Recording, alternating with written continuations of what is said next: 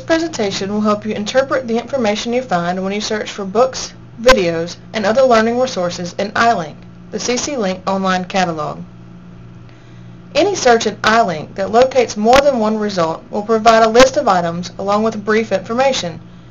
For example, if we search for Central America with a words or phrase search, our search will produce this list.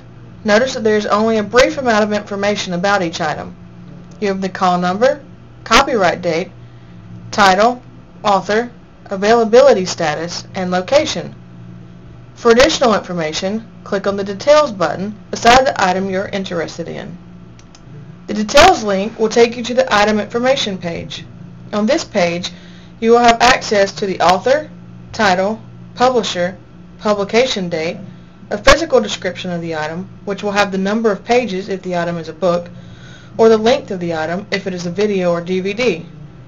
At the bottom of the page, you have information about the library's particular copy. Here you see the call number, which tells you where to look on the shelf for the item, the number of copies owned by the library, and the type of material it is, such as a circulating book or video cassette.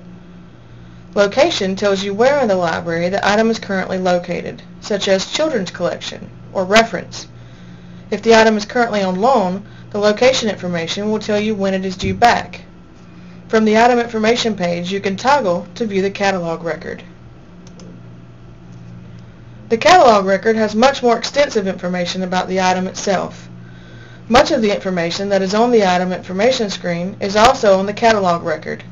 Some information about the item can only be found on the catalog record, including place of publication, information about bibliographies and indexes included in the item, and a more extensive physical description of the item. Most catalog records for books contain contents information. For some items, particularly audio-visual materials, there is an abstract or brief summary. Notice that there are links to all the subject terms used to catalog the item, and you can use these to continue searching. Some records have a link to online information about the item, such as the table of contents. The Held By information lists all the colleges in the CCLINC Consortium that have a copy of the item.